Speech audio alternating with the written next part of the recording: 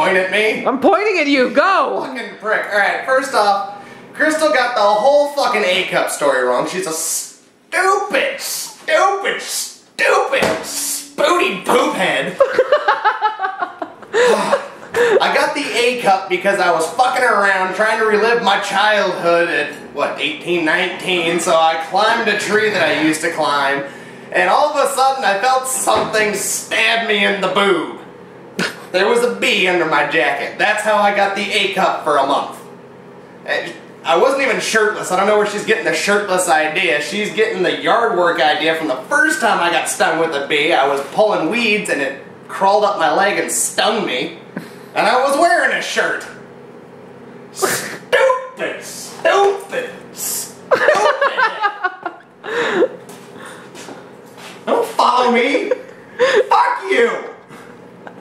You're a fucker.